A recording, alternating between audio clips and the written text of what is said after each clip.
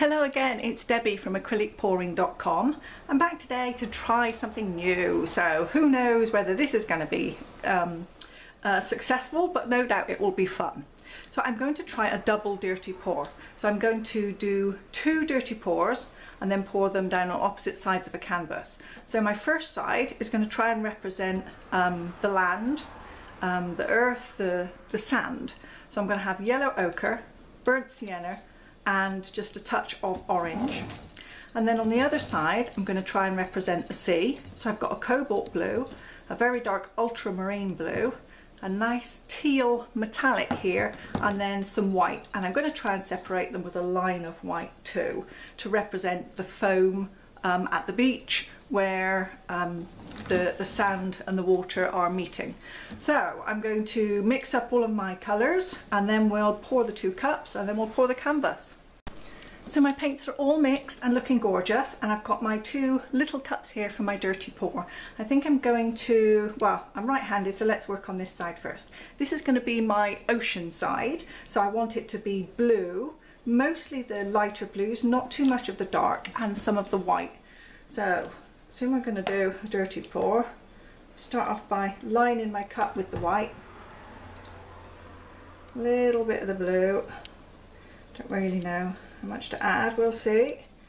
It's the first time doing a, um, a double dirty pour as well, so I'm not entirely sure. Let's go with lots of this nice metallic one. I'm not entirely sure how much paint I will need. Hopefully I won't end up with too few because if I have not enough paint then we'll have to try and make it up. Okay, so should we say that that's like three quarters of a cup? Is that probably enough to do half my canvas? Let's hope so. Okay, so those are my ocean colours. Let's do my beachy type colours. I want that mostly to be the yellow ochre for the sand. Some white a little bit of brown. I'm just going to spoon that in. I'm going to dribble it around but hopefully it's not too concentrated in one place. And a little dash of the orange but again not too much. Now a bit more white in there so that's nowhere near as much as that one so I probably need some more paints in which case let's go with all of my yellow ochre. Better to have too much than not enough, eh? Put all of that in there.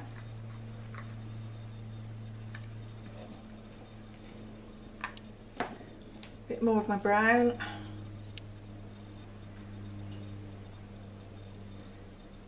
And just a tiny dash whoop, of the orange and then some more white. Okay. So now I've got lots of each. Try and keep things clean when I go. Oh, I've got white everywhere. Okay. So if I bring my, um, start clearing some of these paints out the way, I'll bring the canvas over and we'll start with the pour.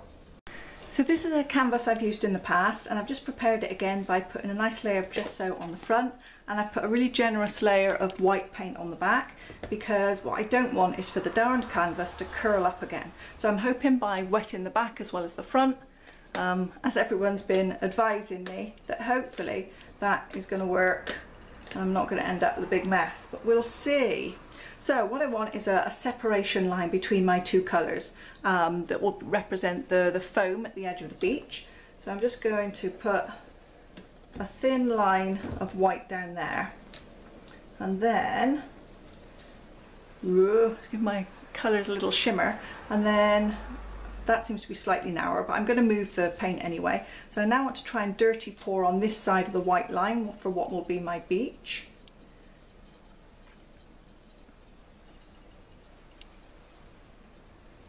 that looks good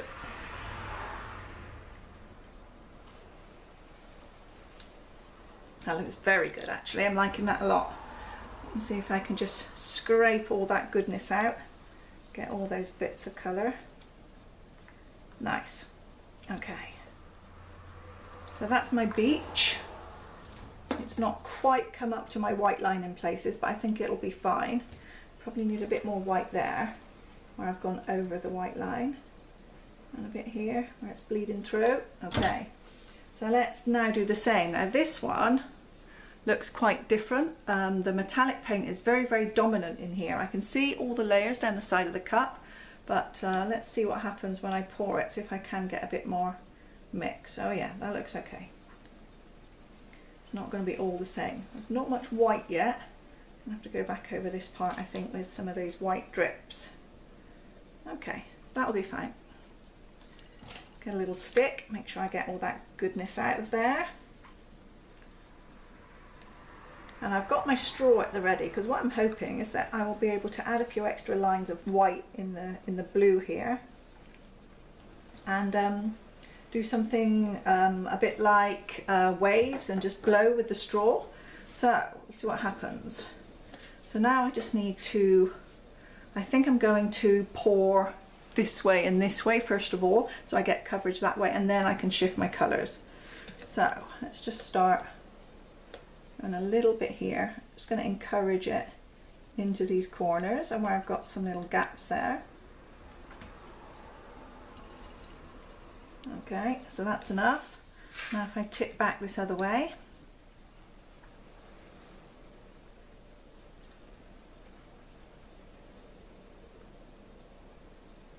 encourage these little bits here to start to flow until I run off the edge. Bit more with the blue, it's a stubborn bit just there. Okay. Oh, that's really nice exactly the kind of look I'm looking for. So now I'm going to tip so that the yellow comes off this side. And it looks like my white separation line is working pretty good there to keep the colours apart so that I'm not going to get too much muddiness there between the two. Ooh, now that's nice. Where I've slightly tipped it asymmetrically, I do like that. Nature abhors a straight line after all. So now I'm going to always do best slightly tipping away from me. So if I turn this around, I'm going to just move it back in this direction, try and cover up all these areas now. For some reason, they don't seem to have quite as much blue. Oh, I've got plenty of blue coming here. I need to tip it a bit this way then.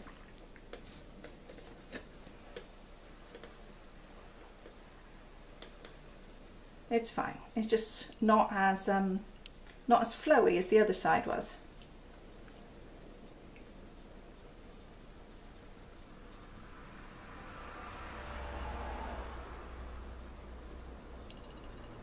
I'll just get it off that corner. Wow, look what's developed here. Now my plan originally was to have more blue and um, and less beach, but oops, but the beach is now looking really nice. Got some really interesting areas here and here. So now I'm a little bit torn because this bit isn't quite as nice as some of this. So I will tip it back. So I need to just spin it around again and try and get slightly more balanced. I'm just going to tip it back this other way. Get a bit more of the blue on there, hopefully without losing too much of the interest in this beachy side. I think it will be good.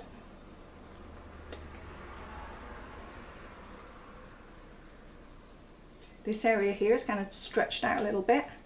So I'd like to tighten that up if I can. Keep this area and this area. And it looks to be doing pretty much what I like. So that's good. Okay. Now that's an interesting shape too. I like that shape now. So, and this is interesting here. I've got beautiful kind of current lines and um, lines of like waves and things. And I was originally planning to add more white and blow it, but I'm not sure now whether I actually need to or whether it looks just good as it is. I'm afraid if I do start to blow, I may disrupt some of these really nice shapes that I've got, especially in here. It's really nice. Okay, so let's see, I'm just looking from the side to look at the thickness of my paints and they seem a little bit thinner there so I think I'm still going to tip this way a little bit, cover up some of this area. And again, this area is kind of a little bit smaller now, so that's good. Plus the more I tip and get a little bit more off these edges, there's less paint on the canvas and hopefully I won't end up with too much warping because that always annoys me when I've got something that I really like and then it changes. Okay. So I'm just looking in the camera because somehow it gives me a better view than looking down from the top and seeing if I like that. I do like that, I like that very much.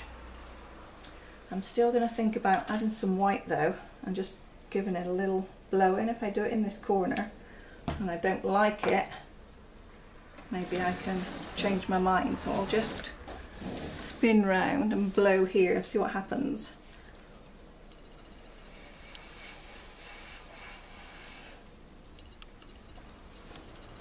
Yeah, it looks nice. Okay, I'll just do some tiny, tiny little bits. Fact, I think I'll try and add just a kind of a drop at a time with my stick and see if I can make that work.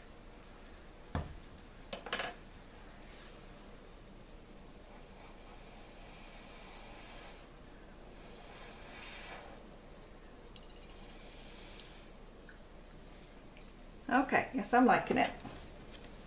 I was a bit apprehensive after I liked it so much to then go and add in white and spoil it, but I think it's going to look good.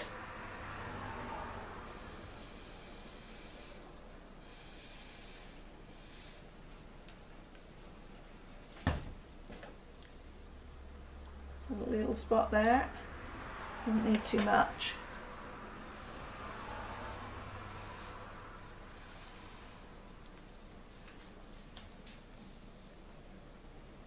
One spot.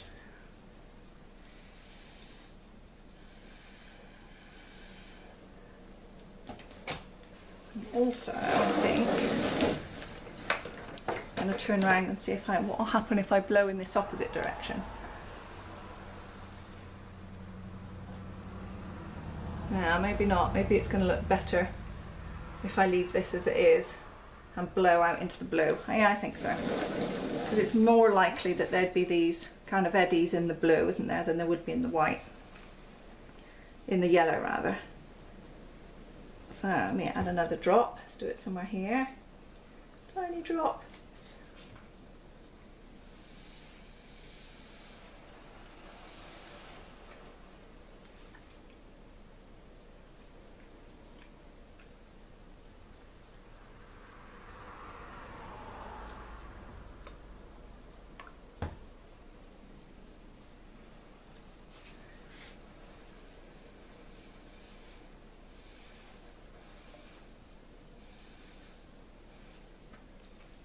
Think as I blow also, I'm highlighting the white which is underneath the blue. So what I'm blowing is not just the, the little spot of white that I'm adding.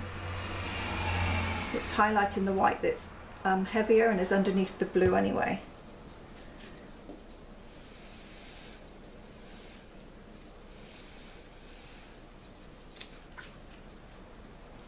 It maybe needs just one here, right on the edge there, a little bit.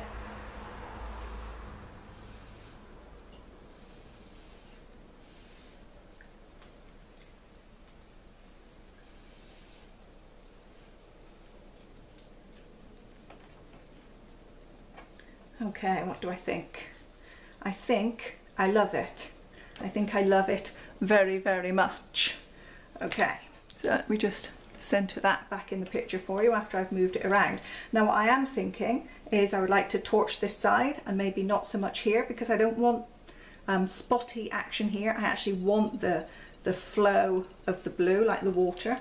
So I'm hoping, again, I'm going to turn it around. And what I want to do if I torch in this direction, hopefully I'll just be able to torch this area and not the blue that's in front of me. My torch is a bit fierce, it's on minimum, let's see what happens.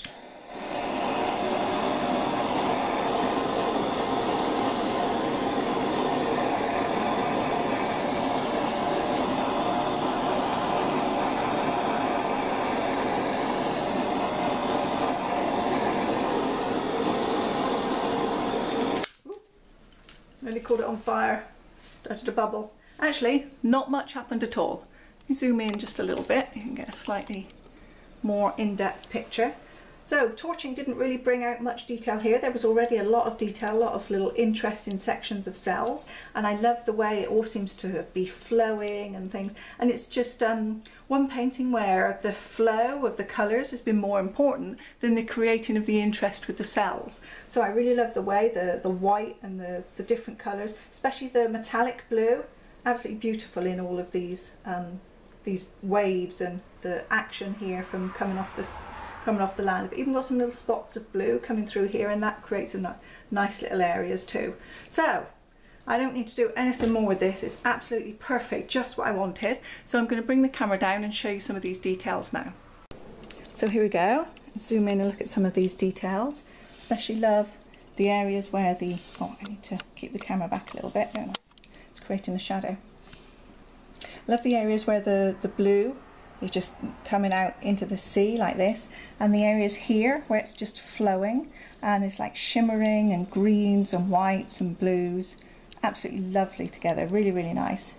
And then when you come onto the land again there's lots more areas of detail. You know things like well I don't know how you would describe them but certainly really really lovely. Really great here in the land. And then as you come out here lots more areas where the blue comes out to the sea and creates all these wonderful, wonderful areas of interest. So, I'll zoom back out. Hope I'm going to keep my fingers crossed um, that this panel isn't going to give me any trouble after I did try to look after it so hard and I'll come back and show you what it looks like when it's dry and fingers crossed it will still look the same.